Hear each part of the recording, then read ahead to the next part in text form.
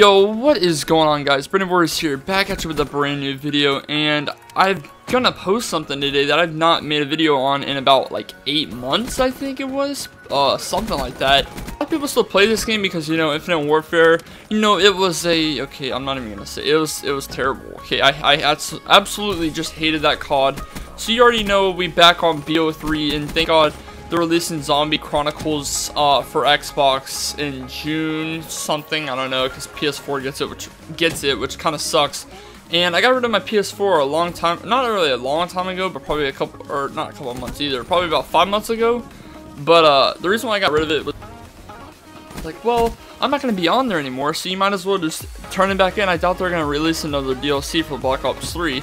And what do you know? They released another one. So, you know, it would have been nice to hold on to the PS4 just for a little bit longer. You know, I only have to wait about, what, another month? So, I, I can wait. I can wait. I've already played the mask before, so it's all good.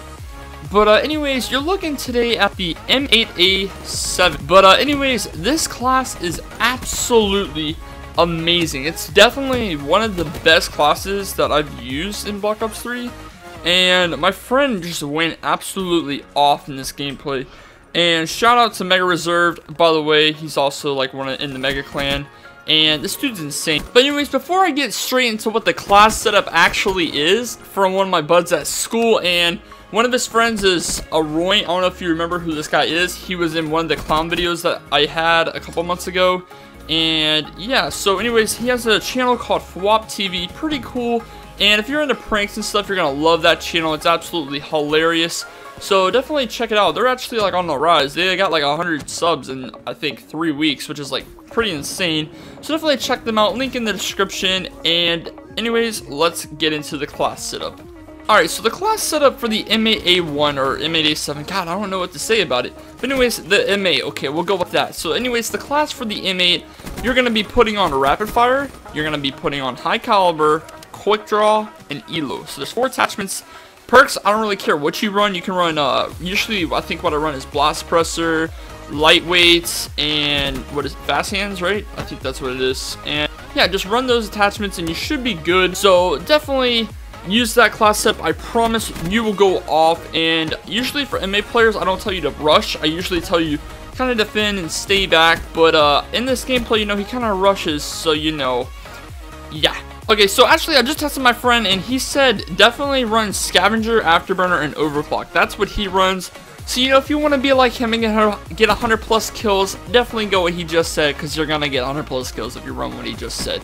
And if you don't, you'll get 99, so that's close enough. So, you know, anyways, okay, and I'm texting him, like, right now what score streaks he runs.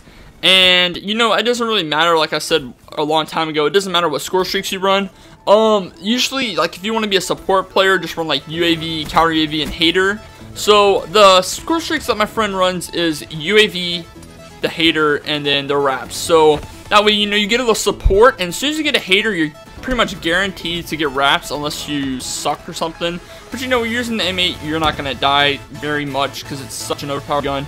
But, uh, yeah, once you get your UAV and HATR, you're going to get wraps, mother mothership. You can run anything else after that because you're going to know where they're at on the mini-map. So that really works and that really helps out. So that's the score streak he likes to run as well. Because I never really want to stick with one thing, like one support and then, or three support and like three lethals. Because that just doesn't really make sense to me. And you're to need at least some support and some lethals in there. So definitely run UAV, HATR, wraps, or if you want to take UAV out, um, and you're like one of those play players that just pub stomp everyone, then just run like UAV, HATR, and then mothership. If you can get that, that is. But this video does good, you know, I'll upload some more 100% code gameplay with the best class setup as well. Um, I know I used to post these back then, and these used to be, like, really good. And, uh, anyways, um, yeah, so I know he got, like, one with the Razorback, and then one with the Peacekeeper as well. So, you know, I'll definitely post those later, probably Thursday, Friday-ish, uh, whenever I get a chance, because I have football and school during the week. But, uh, anyways, I'll definitely post some more on this if it does good. That's pretty much going to be the class setup. I hope you guys did enjoy the video today. Please be sure to like the video if you did enjoy and to subscribe to the channel if you are new. Also, check out my buds, Fwop TV. Thank you, Mega Reserve, for the gameplay. Beast, absolutely hit that man up on Xbox if you want to pub stomp. And yeah, that pretty much does it for today's video. Hope you guys enjoyed, and I'll see you guys in the next one. Peace.